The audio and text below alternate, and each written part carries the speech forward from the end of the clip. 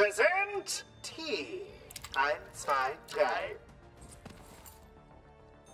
Time for some sweet dunks.